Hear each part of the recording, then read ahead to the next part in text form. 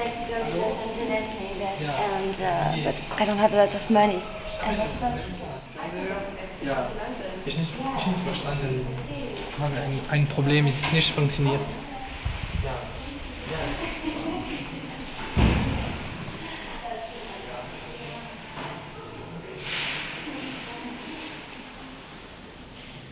Oula, on va être en retard, faut qu'on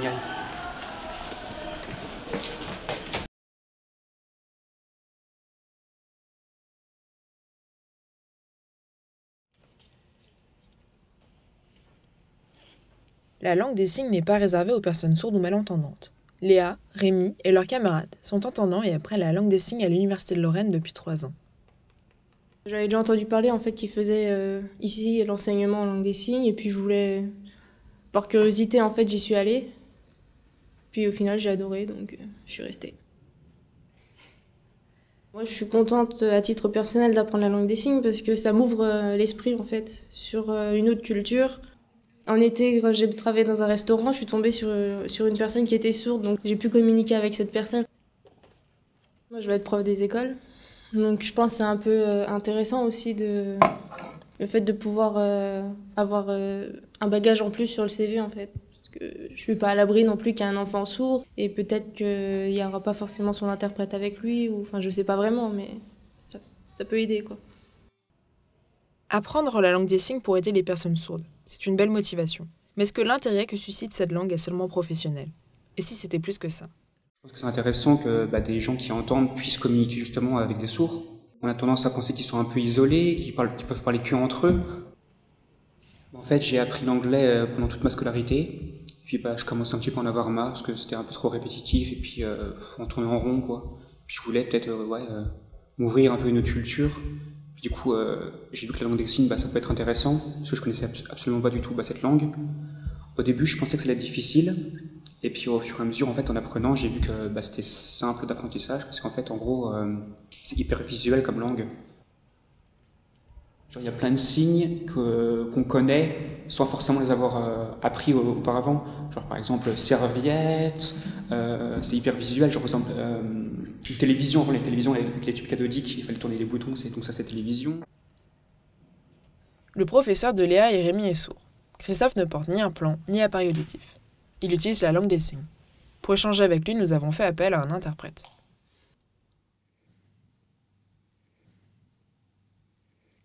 La langue des signes est une langue qui attire parce qu'elle est visuelle, parce qu'elle utilise l'expression du corps, les mains, et elle dénote totalement des langues vocales avec lesquelles nous avons grandi et que nous avons l'habitude de pratiquer.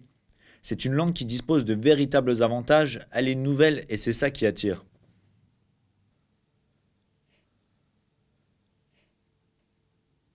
Pour acquérir la langue des signes, il faut compter 150 heures minimum afin de parler d'une véritable communication. Sinon, il s'agit uniquement de mime.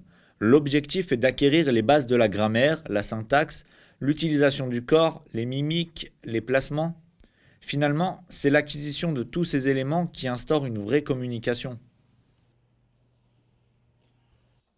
Malgré cet attrait pour cette langue, les étudiants sont frustrés que la langue des signes ne soit pas plus démocratisée.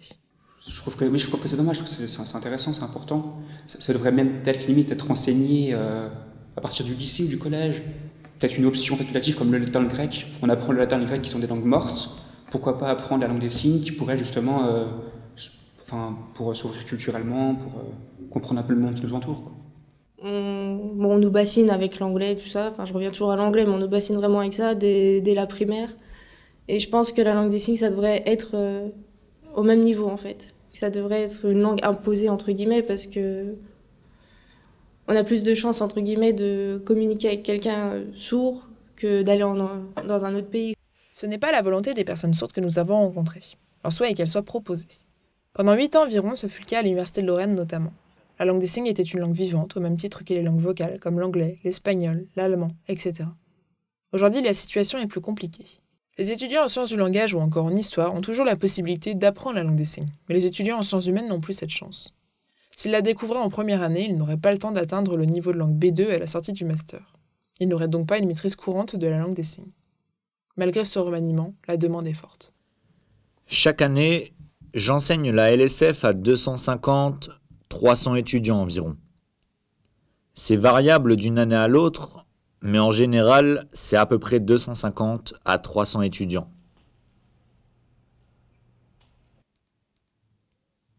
Chaque année à la rentrée de septembre, je reçois énormément de demandes que je suis obligé de refuser faute de place. J'en suis d'ailleurs désolé, mais c'est très difficile de faire une sélection. J'ai déjà réclamé à l'université des critères de sélection en fonction des parcours professionnels, mais malheureusement, tout le monde est regroupé et il est impossible de choisir. C'est un critère de chance. C'est finalement le premier inscrit sur la plateforme IWP qui aura une place. Mais il est vrai qu'on refuse énormément d'étudiants. Mais alors pourquoi ne pas embaucher un professeur supplémentaire? Eh bien pour embaucher, il faut un CAPES en langue des signes, donc un master suivi de la réussite au concours. Sauf que peu de personnes sourdes font des études supérieures. L'Université de Lorraine n'est pas la seule concernée par ce manque d'effectifs. La fac de Poitiers en fait également les frais. C'est un problème euh, purement humain, à savoir qu'on a énormément de mal à recruter euh, des enseignants sourds. Il faut, euh, quand on intervient à l'université, il faut être certifié ou avoir un doctorat. Il faut qu'il y ait des postes disponibles. Nous avons énormément de demandes de la part des autres formations pour savoir s'ils peuvent intégrer justement les cours de langue des signes aujourd'hui, les cours de langue des signes sont complets chez complets. Et surtout, nous n'avons pas vocation de, et ça c'est extrêmement important, de concurrencer les associations qui donnent des cours de langue des signes à côté. Il n'est pas non plus possible de charger davantage les classes. Pour qu'un cours de langue des signes se passe correctement, c'est important qu'il n'y ait pas trop d'élèves. Ils sont placés en arc de cercle pour bien voir le professeur ainsi que leurs camarades s'ils souhaitent intervenir à un moment donné que vraiment un groupe apprenne la pratique de la langue des signes, en plus, il ne faudrait pas qu'il soit plus de 20 ou 25 maximum. Et avec un seul enseignant, c'est pas possible. Les universités ne sont pas les seules concernées par l'afflux de demandes. Pour apprendre la langue des signes à l'Institut national de jeunes sourds à Metz, Mathilde a dû s'y prendre à deux fois. J'ai commencé, du coup, ben, c'est le 1er octobre. J'avais postulé pour l'an dernier, mais il y avait trop, trop de gens. Du coup, j'avais pas été prise et j'ai repostulé. J'ai été prise euh, là en octobre. Et ça se finit en juin. Et je pense qu'après, je recommencerai en octobre 2019 et finira en juin 2020. Ils ne sont que deux professeurs sourds à pratiquer la langue des signes à l'Institut Messin. Nous en avons rencontré un. Thierry s'est signé, mais également parlé. Attendez, parler? Quoi? Un sourd n'est pas muet? Je ne pas à l'abri non plus qu'un enfant sourd et, muet. Et puis, comme le prof est un vrai sourd et muet. La copine de son père est euh, sourde et muette Et non, un sourd n'est pas muet. Il n'a aucun problème phonatoire. Parler n'est simplement pas toujours naturel pour un sourd. N'ayant parfois jamais entendu de son, il est très difficile pour lui de les reproduire. Thierry s'exprime quant à lui très bien. Il nous explique comment se passent les cours avec des adultes entendants. Euh, L'objectif, c'est que euh, ils apprennent euh, les signes pour pouvoir communiquer avec des sourds. Donc ça va être du vocabulaire de base, euh, après on va travailler un petit peu sur différents types de phrases, et il va y avoir beaucoup de mises en situation donc euh, des, échanges, des petits exercices où euh, on a euh, deux personnes qui communiquent entre elles. On commence à faire des petites phrases, mais enfin, comme on a fait tout à l'heure, le jour il fait sombre ou alors le jour il fait clair, c'est des petites phrases. On n'est pas encore en mesure de faire des longues phrases. Mais bon, c'est plus, ouais, c'est les bases en fait, comme dans toute langue. Beaucoup de gens, quand ils arrivent, ils s'imaginent que ben, la langue des signes, c'est la traduction d'un mot de la langue française en signe. Et euh, en fait, c'est pas ça du tout. Euh, la langue des signes, c'est une langue avec une syntaxe qui lui est propre, une grammaire qui lui est propre. La langue des signes se distingue du français. Mais est-ce que c'est une langue difficile? Langue difficile, non, elle n'est pas plus difficile qu'une autre langue. Par contre, il faut que les personnes qui apprennent la langue des signes soient quand même à l'aise avec leur corps on, rencontre parfois des personnes qui, au niveau de la, motricité, ne sont pas très à l'aise, ou alors sont euh, un petit peu réservées, euh, ou du mal à mettre un petit peu leur corps en avant, le, le, faire bouger. Euh. donc ça, ça c'est un peu difficile pour ces personnes-là. Mais autrement, non, elle n'est pas plus difficile que notre langue. De base, je suis un peu réservé, et du coup, je pense que le fait d'être obligé de m'exprimer, de, signer, etc., ça m'a aidé un petit peu à justement à sortir de ce concon, à m'ouvrir un peu plus aux autres. Mathilde a l'air plutôt à l'aise. C'est la seule qui nous a autorisé à la filmer durant ce cours de langue des signes à l'Institut national de jeunes sourds à Metz.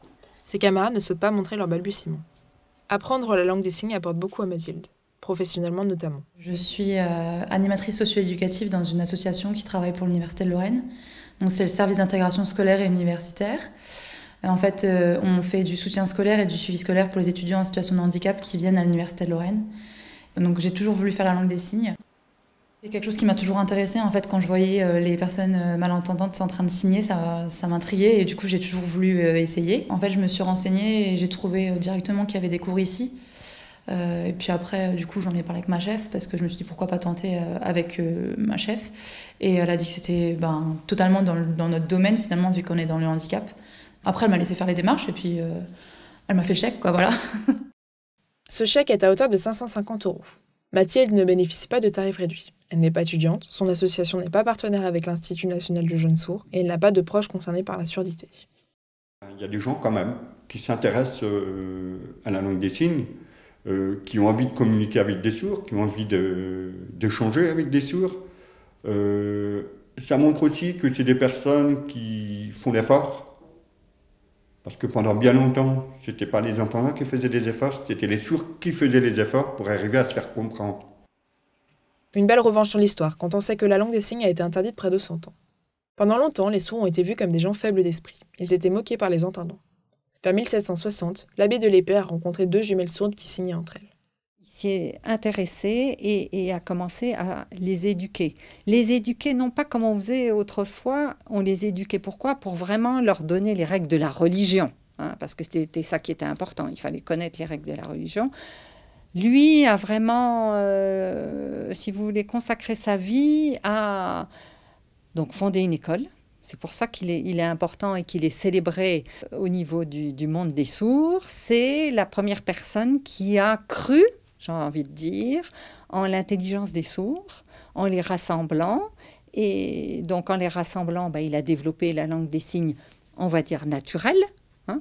Et puis il a créé euh, des signes un peu conventionnels pour mettre de la grammaire, parce qu'à l'époque, on était encore, euh, comme il n'y avait pas de recherche, les recherches sur la langue des signes sont assez récentes, hein, pour savoir que leur façon d'utiliser les signes dans l'espace avec la, la, mimique, le corps entier et tout, ça correspond à des règles de grammaire. Donc lui, il a mis des signes un peu méthodiques euh, pour euh, dire, par exemple, les articles, les verbes, euh, etc. Une avancée majeure dans l'histoire des sourds, mais qui va être remise en question lors du Congrès de Milan en 1880. Plus de 250 personnes y assistent, dont trois sourds seulement. Ce congrès a pour but, soi-disant, d'améliorer le sort des sourds muets. Les oralistes estiment qu'ils doivent apprendre à parler pour s'intégrer dans la société. La langue des signes est alors interdite pendant près de 100 ans. La langue des signes était bannie. Pourquoi Peut-être parce que la langue des signes nous fait penser à l'animalité qu'il y a en nous.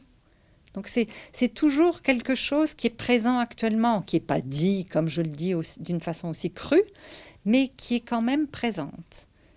Et du coup, euh, le congrès de Milan était la, la, date euh, qui a euh, interdit donc la langue des signes dans les écoles alors elle a continué, certes, mais sous le manteau. Dans les écoles, on a interdit euh, aux professeurs entendants d'utiliser la langue des signes. Donc elle n'était utilisée que en récréation, si vous voulez. Donc à ce moment-là, euh, moi j'ai commencé à travailler en 1977. À l'époque, on interdisait aux enfants de parler en langue des signes. C'était uniquement euh, dans la cour ou pendant les temps éducatifs. Mais en classe, on ne l'utilisait pas. Donc c'est pas si vieux que ça. Je faisais partie d'un groupe de sourds, mais qui ne disposait pas d'une véritable langue. On s'exprimait, mais à travers des codes, avec une vraie iconicité afin de pouvoir communiquer. En classe, nos professeurs étaient confrontés à plusieurs types de surdité profonde, moyenne, et il était difficile d'adapter la communication. Appareillés, nous devions suivre les enseignements par la lecture labiale. Et c'était très difficile, car nous n'avions pas accès au sens des mots. On arrivait à se comprendre, mais je dirais que nous n'étions pas à l'aise. Ce n'était pas une communication fluide. Ensuite, nous avons découvert la langue des signes et ça a été incroyable pour nous car nous avions l'opportunité de tout comprendre. C'est à partir des années 1970 qu'a lieu le réveil sourd. Les sourds militent pour que la langue des signes soit reconnue. Progressivement, elle retrouve sa place, l'interdiction est levée en 1977. Une réflexion commence à naître dans les esprits. Et pourquoi pas un enseignement bilingue? Pourquoi ne pas apprendre le français et la langue des signes? En 1991, la loi Fabius dispose que les sourds peuvent choisir une communication bilingue ou une communication orale dans leur éducation. Enfin, la loi du 11 février 2005 reconnaît la langue des signes comme une langue à part entière. Actuellement, il y a de plus en plus de livres, de témoignages d'adultes sourds qui écrivent leur vécu. Je pense que c'est important pour nous, entendants, de lire ça et de se rendre compte à quel point il y avait une oppression. Alors on peut mettre des guillemets si vous voulez, mais, mais c'est quand même ça. Mélanie est une jeune femme sourde. Elle cherche à donner de la visibilité au monde des sourds et à la langue des signes par différents moyens. Elle réalise des vidéos sur sa chaîne Mélanie Def depuis 2016 et comptabilise plus de 51 000 abonnés. Elle a également écrit un livre où elle détaille son quotidien. Pour Fais-moi signe, elle nous a concocté une petite vidéo foire aux questions. Bonjour à tous, j'espère que vous allez super bien dans cette nouvelle vidéo. Aujourd'hui, j'aimerais juste faire une foire en question, FAQ. C'est parti Alors, pour répondre à la première question, mon but de faire cette chaîne YouTube, c'est justement de sensibiliser les entendants par rapport à la culture, la langue des signes, tout ce que je subis dans la vie quotidienne, j'aimerais le mettre dans ma vidéo pour pouvoir réveiller donc euh, les entendants, mais aussi la société par rapport à nous. Alors, comment je me suis lancée dans ma chaîne YouTube? Alors, euh, tout départ, c'était il y a bien des années, enfin, il y avait peut-être 17 ans, j'en ai 23 aujourd'hui. Ben, ma mère, elle m'a dit, t'as bien que tu fasses des vidéos sur euh, la langue des signes pouvoir enseigner aux entendants, tout ça. Au départ, j'étais pas vraiment tentée parce que, bah, YouTube, c'est vraiment quelque chose d'énorme. Et petit à petit, j'ai réfléchi, je me dis oui, il va falloir que je fasse des vidéos pour pouvoir euh, justement me battre et montrer aux entendants, mais aussi d'enseigner la langue des signes aux entendants. Et pour répondre à la deuxième question, qu'est-ce que ça me fait quand je vois les entendants qui apprennent la langue des signes? C'est moi, ça me touche. Et tous les pas, je ne pensais pas que de nombreuses personnes avaient vraiment apprendre la langue des signes. Au départ, c'était juste pour le plaisir, tout ça. Mais je sens qu'il y en a de plus en plus qui apprennent pour pouvoir faire un métier comme interprète, professeur des écoles, professeur euh, second degré dans un collège lycée, avec la langue des signes, tout ça. Et voilà. Ça me touche vraiment et ça me motive de pouvoir continuer mes vidéos, de me battre, aussi d'enseigner. Et euh, voilà. Ça me fait plaisir.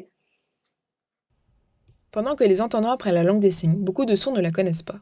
Parce qu'ils sont appareillés ou implantés, ils estiment ne pas en avoir besoin. Une personne sourde qui a été euh, appareillée euh, très très jeune, euh, qui a de très très bons résultats, qui va pouvoir du coup communiquer, comprendre la parole et puis, et puis oraliser comme quelqu'un de normal, peut-être ne va pas en ressentir le besoin, parce que finalement elle va être mélangée avec des entendants et qu'elle va très bien se débrouiller la, langue des signes. Et puis bah, des personnes implantées, qui ont été implantées aussi très jeunes, qui ont de très très bons résultats, euh, qui finalement ont des résultats qui sont comparables euh, à des normaux entendants en termes de compréhension euh, de la parole, ne vont pas forcément ressentir le besoin, tout comme, tout comme finalement... Bah, vous ou moi, on va pas forcément ressentir le besoin d'apprendre le mandarin, d'apprendre. En fait, c'est ça, c'est que si on peut communiquer très bien sans, certains auront la curiosité de le faire, d'autres n'en auront pas forcément envie. S'ils ont envie à certains moments d'utiliser la langue des signes, qu'ils l'utilisent. Et si à d'autres moments ils ont envie d'utiliser la langue orale, qu'ils le fassent.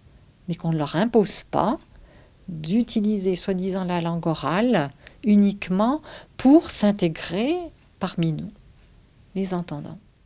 Peut-être il est naturel pour des gens euh, entendants, oralisants, euh, de se dire, euh, bah voilà, entre guillemets, si vous pouvez entendre comme nous, pourquoi ne pas le faire? Peut-être, je pense que c'est sûrement une manière de penser assez naturelle.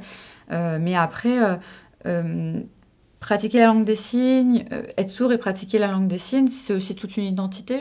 Pour Marie-Françoise Rossi, il y aurait plusieurs regards portés sur la surdité.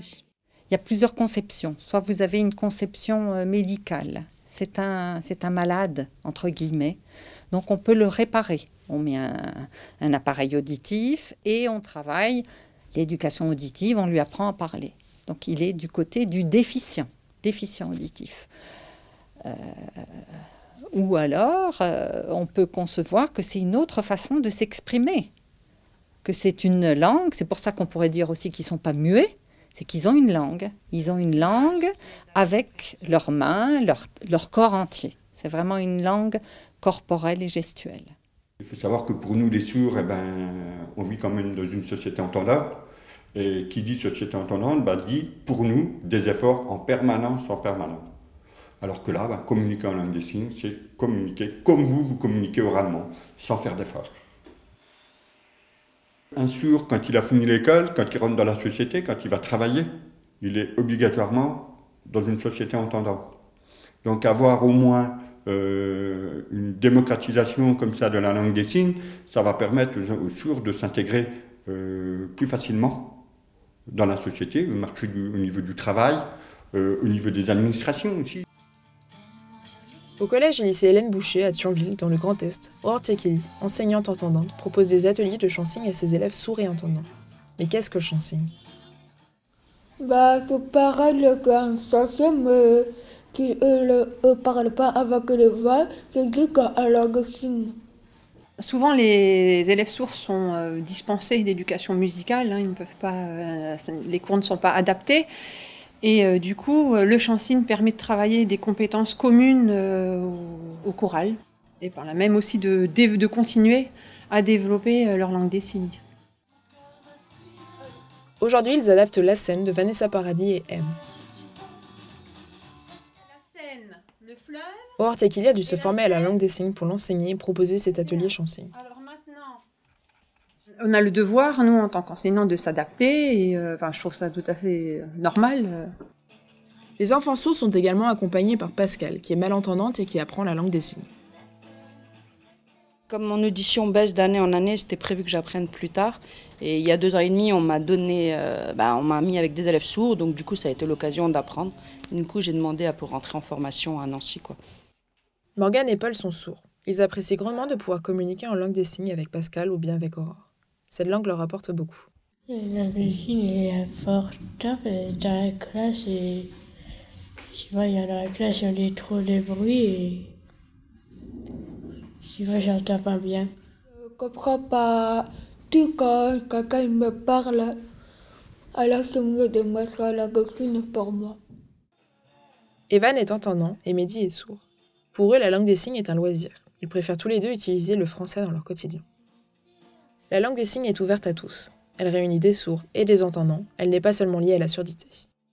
Chacun a sa particularité. Dans le mot d'entendant, il y en a qui peuvent avoir aussi des, petites différences, couleur de peau, couleur de euh, les yeux, la voix, des accents. Euh, ben nous, on a euh, notre, notre surdité, notre, notre handicap au niveau de la communication.